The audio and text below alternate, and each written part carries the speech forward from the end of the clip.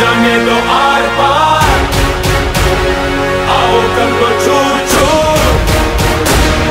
मासूमों की आंसुओं को पहुंचेगा पहुंचेगा तो आंधियों को रोकने वाला है सुल्तान सालिमों से रिहा करवा है सुल्तान